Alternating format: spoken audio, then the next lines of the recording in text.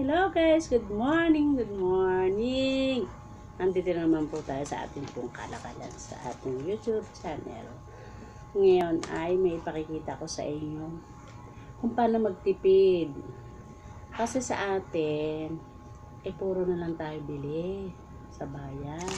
Bili tayo ng bili, pero meron naman, hindi nyo alam na meron din naman tayo dito para tayo iwas sa tib, lalo't lalo na tayo, tayo ay nasa bukid, bubulol ako sa inyo. Ngayon ay October 14, 2020. Ayan. Kasi ngayon nga, masyado na tayong ah, magastos. Katulad ng araw, kasi tayo may pwedeng mag-toothpick ng ganito lang. O, kumuha tayo sa ating gilid ng bahay ng ng palapa ng inyog. Ayan. Itong palapa ng inyog na ito ay ating gagawing toothpick. Para tayo matipid, di ba? Oh, oh, gagawa tayo ng toothpick. Oh, di ba? Oh, gagawa tayo ng toothpick. Oh. Ang paggagawa ng toothpick ay ganito. Oh, di ba? Para tayo makaiwas gastos. Ayan, oh. Ganyan na lang. Ganyan, oh. Toothpick. Mm, oh, sample. Sample, ha? Oh, ayan, oh. Sample. Sample ng ating toothpick. Oh, ayan. Matulis na naman, di ba? Kaganyan natin, ah. Ano, ha? Ha? Ha? Ha? Ha? Ha? Ha? Ha? Iwas gastos. Ito, pwedeng toothpick. O, di ba? Oh, kaya tipid-tipid pag may time. Sa bagay, social naman tayo. Kaya kumbaga, hmm, hindi na. Kasi, kung bibili nga tayo, ayan, ang paggagawa ng toothpick ay ganyan. Ganyan, no? Ganyan siya. Oh, di ba? Oh, ayan o. Iwas, iwas gastos tayo. Iwas tayo gastos. O, diba? Oh, natututuan ko kayo kung paano mag gawa ng toothpick. Oh.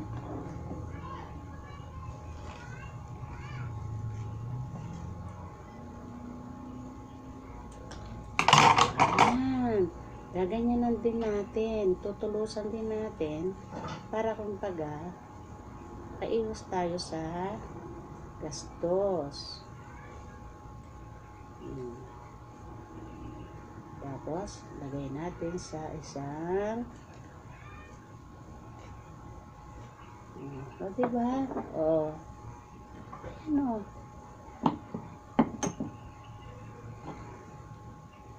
Kasi puro tayo gastos eh. O, di ba? O, makatipid tayo. Hindi kayo puro, puro, mm, ano eh. Ito na lang aming ginagamit. O, o ayan, o. Hmm. Tipid-tipid mo pag may time. Kasi nga, mahirap ang buhay. Dito kasi sa Pilipinas, ang, ang sweldo ng isang, katulad ng mga pamangkin ko, sa bukid lang, ano, sa pamintahan, ang sweldo nila, ngayon, 300 na lang. 300. Meron pa nga 250 eh. Kaya lang, ginawa niya yata 300. Kaya tayo ay, ano, kunting tipid. O, diba? Makakatipid tayo. O, ayan. O, tipid-tipid may time. O. Tapos, ang gagawin natin, ito pa, pwede natin pantingting ng ipon tayo ng mga 200 pieces na ganito. O, may isa ka ng walis. O, diba? O, ang pag-ano ng ganyan para madali mo magunting. Ayan, gagawin mo siya. Uh, gagawin mo siya. O, diba? Ah, kaya, ah, tuturuan ko kayo kung paano magtipid kunting tipid. Pag malambot na, huwag mo nang anuhin kasi malambot na. Tapos, ayan, di ba? Pwede natin ito. Ayan. Panghininga. Toothpick. O, di ba? O. Kaya, sa bahay, ah, malaking katwiran ng ating mga gamit. Tapos, o, di ba?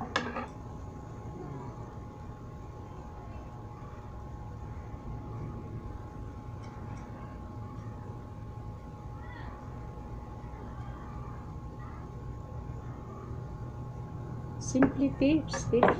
Pakini nga. Kasi bibili ka ba, magkano ang isang ganito? 10 10 dollars. Ha, di ba? 10 dollars isang ganito. 10 dollars. 10 pesos. Pag dito sa bukid ka bibili, pero pag sa bayan naman, ganun din. Kasi bumili ako 10 pesos eh. Kaya, ah, tipid-tipid tayo pag may time. Hindi. Hindi naman sa pag gusto ko lang makapag-YouTube. Ito ra nga. Hanbawa, kung mag-YouTube ka, wala kang magawa. Di ganitong gawin mo. Mag, i-share mo sa YouTube. Ganito. O, ano pa na? Sasabihin mo, ano pa, ano ba ako mag-YouTube? Anong gagawin ko sa YouTube? Eh, di ito, gawin mo. O, magganyan ka. O, tipid sa sa mga sa mga tao sa pag ano tapos ah kuha ako ng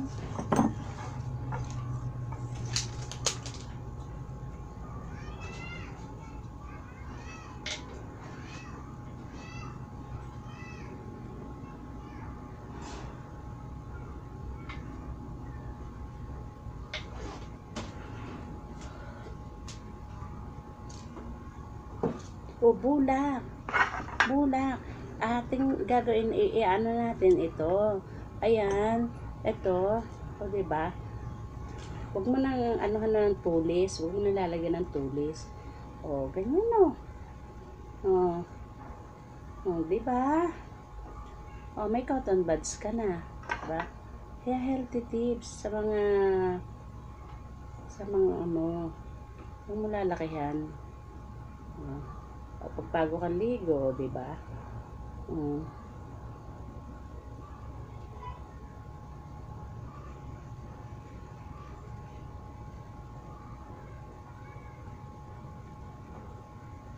O, diba? Mm. Oh, makapaghimuli ka na. Oh, di ba? Oh, ang sarap. Oh. Mm. Oh, ayan oh. Oh, di ba? Oh. Meron ka ng tips para ano. Yan, healthy tips sa inyo. Ah, tips sa mga ano, sa mga walang magastos, sa tulad kong walang magastos, di ba? Oh.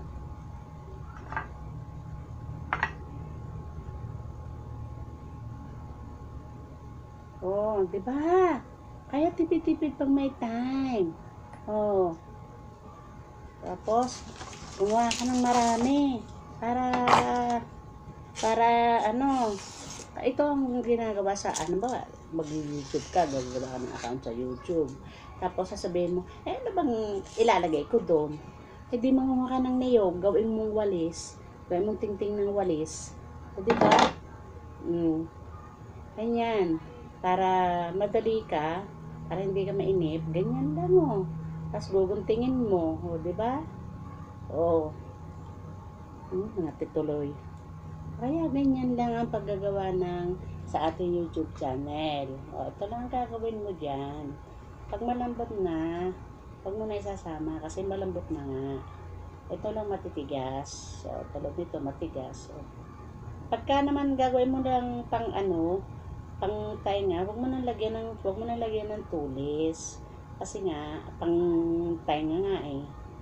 O, diba? Pang hinuli at pang toothpick. O, diba? Healthy ti- ah, tips. Healthy tips. Tips sa ano, sa mga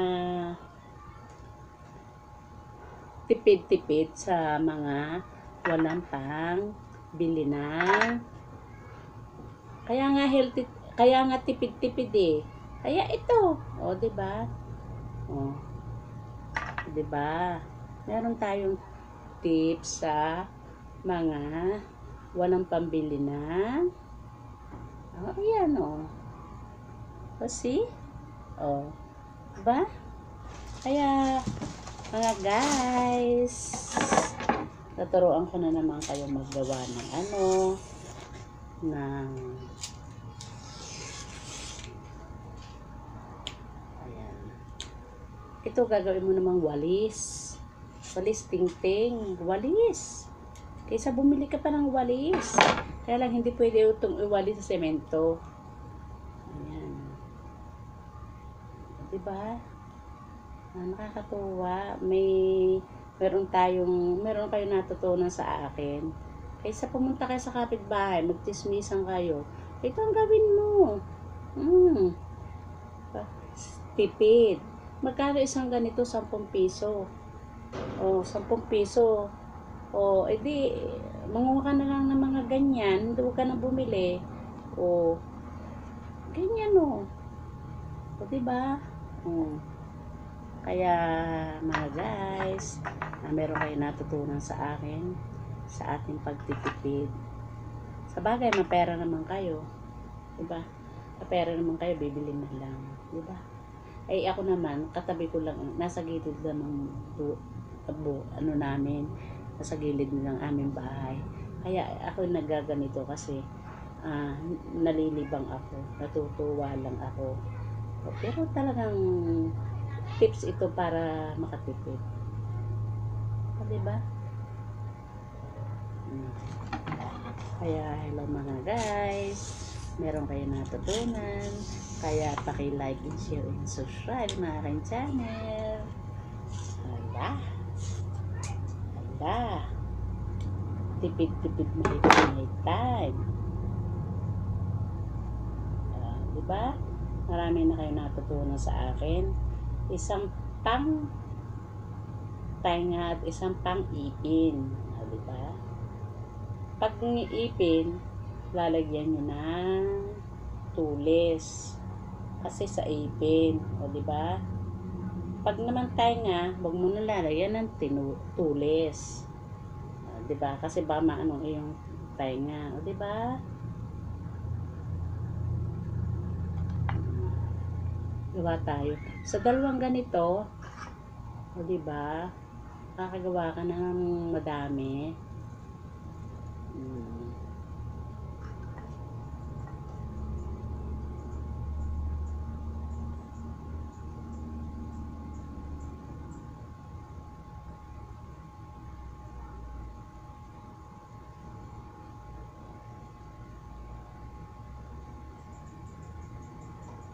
Kasi kailangan malaki para pagka inilagay na ganun, oh. Oh. Oh, di ba? Oh. Oh. Oh. See? Oh.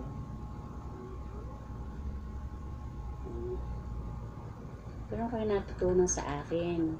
Sa aking kunting pagtitipid. Hmm. Kaya hello mga guys. Amang kayo ng dahon ng inyog at kayo ay magbalibol na ng inyong tainga. Oh, sarap, oh. Pagbago kang ligo, oh. oh di ba? Meron ka matututunan, natutunan sa akin. Kaya, please like and share and subscribe. Yung gagamitin nyo lang ganito, yung medyo matigas. Ang kukunin mo ay matigas. Pag malambot, yung medyo, yung puno. Kasi pagka medyo dulo na, ito kasi dulo na eh.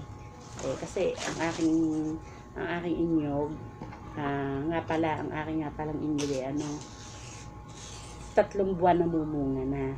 Ayan. Kaya ako'y natutuwa na ka, na manguha ng ganito kasi sobrang baba ng aking inyog.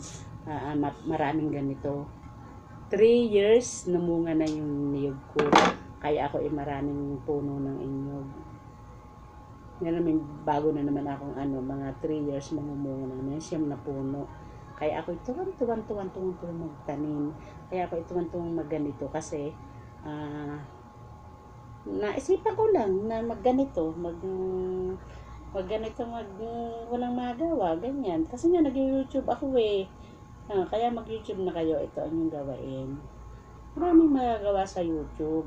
Ah, tulad nito. Di ba? Meron ka natutunan sa akin.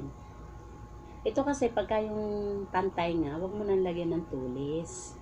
Huwag mo nang lalagyan ng tulis kasi ah, pantay nga nga eh.